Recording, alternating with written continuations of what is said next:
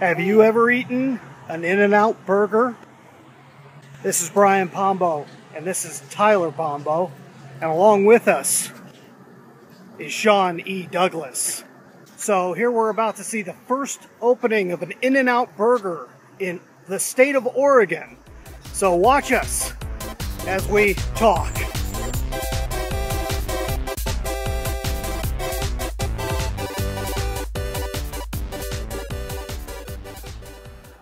Okay, so we are here in Medford, Oregon, watching the grand opening of In-N-Out Burger, a franchise that started down in Southern California back in 1948. What town was that in, Sean? Uh, I believe Baldwin Park. It's out in the Los Angeles area, if I'm not mistaken. According to their website, they were the first drive-through fast food burger. So they claim to be the first one. So that's true or not. All this for what many would consider just a hamburger joint. Have you ever had an In-N-Out burger? Leave a comment down below. Let us know whether you have, what you thought of it. Is it just all a bunch of hype? They've got camera crews out here. They claim the lines today are going to be at least two to three hour wait for a hamburger, a shake, some animal fries. Tyler, you want to get a burger? You want some animal fries? Would you like a double double? Perhaps a strawberry shake? You want a strawberry shake? Strawberry shake, Tyler? Animal style burger?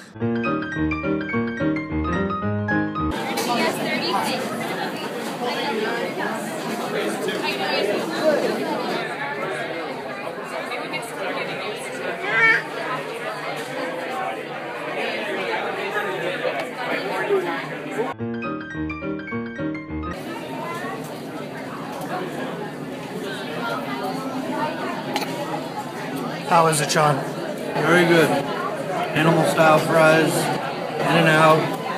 Awesome. Adam the Woo? It's just a hat. See, it's a paper hat. You want to try it on? There you go.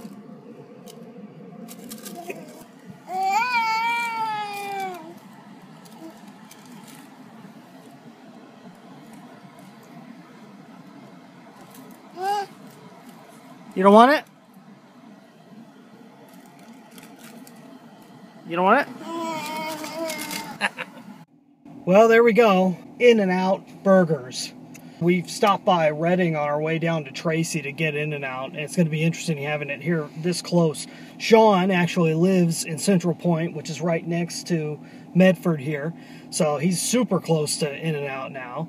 I'm actually in Grants Pass, talking about 20, 30 minutes away from In-N-Out, but now we have it available to us, so that's kind of cool. I love it.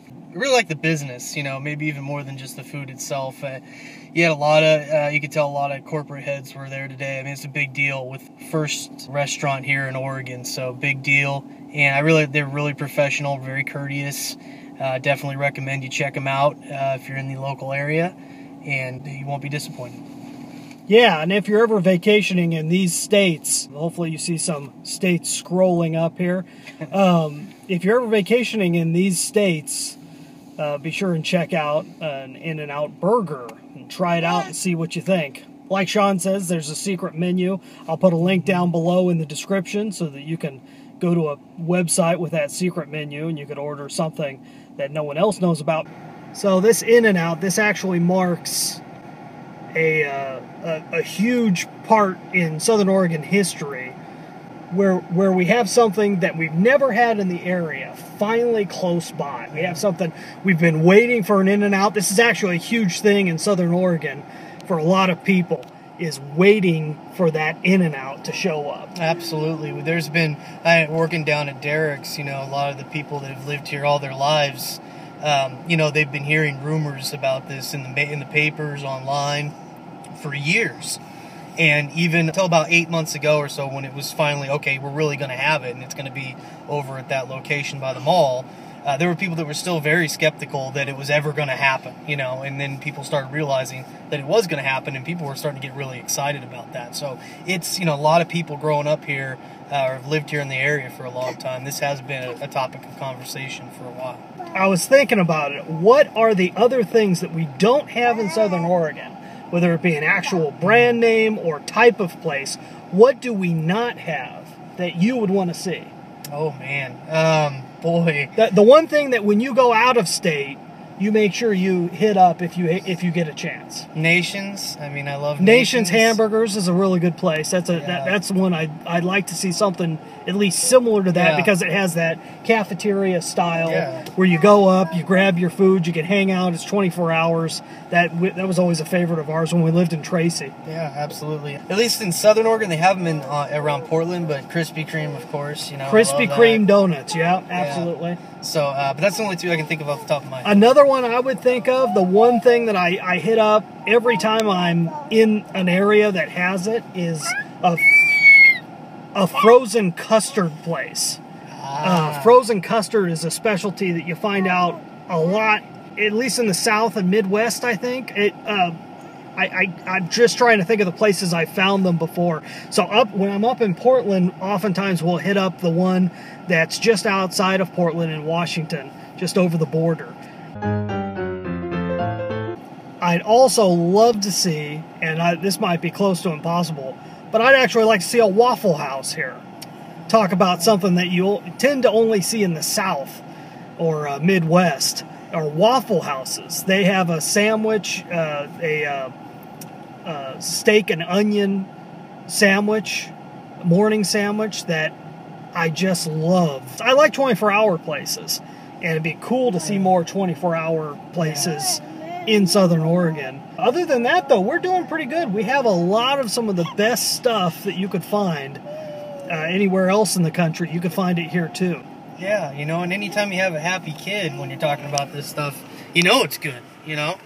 It's gotta be. You like In-N-Out, Tyler? Exactly.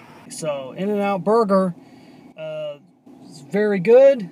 I'm, I'm sure they'll do perfectly fine here. It's a very smart business. Maybe in the future we'll go over a lot of the marketing aspects that In-N-Out of what makes them really stand out above the crowd. So. Uh,